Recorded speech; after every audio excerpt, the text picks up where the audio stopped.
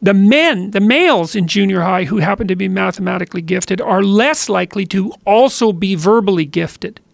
Whereas that doesn't seem to be the case for the females.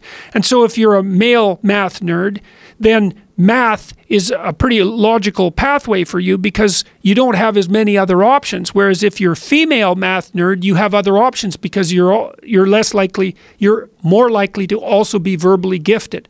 And so that's enough to at least in principle account for some of the reason why there are fewer women mathematicians than men mathematicians. They have other you options. know, they have other options. And there's lots of complex there's lots of complex reasons like this. And so